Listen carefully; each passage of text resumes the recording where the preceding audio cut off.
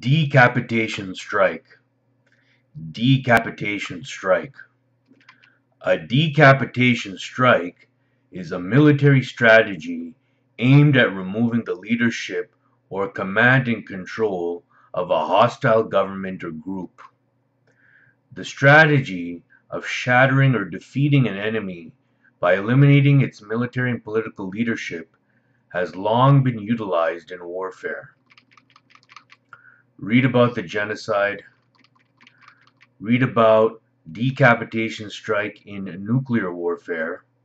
In nuclear warfare theory, a decapitation strike is a preemptive first strike attack that aims to destabilize an opponent's military and civil leadership structure in the hope that it will severely degrade or destroy its capacity for nuclear retaliation.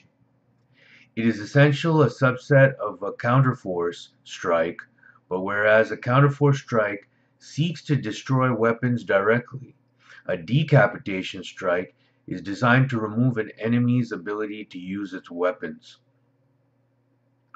Read about the strategies against decapitation strikes, including the following distributed command and control structures, dispersal of political leadership and military leadership in times of tension, Delegation of ICBM SLBM launch capability to locate commanders in the event of a decapitation strike. Distributed and diverse launch mechanisms. A failed decapitation strike carries the risk of immediate, massive retaliation by the targeted opponent. Read all about that.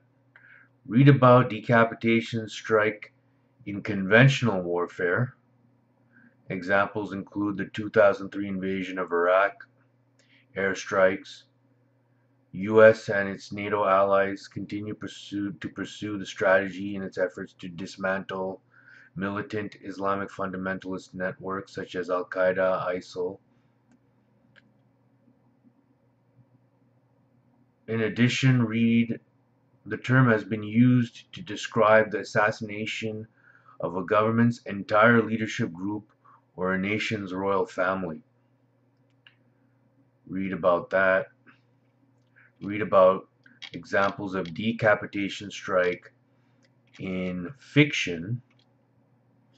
Read all about decapitation strike. Decapitation strike. Decapitation strike.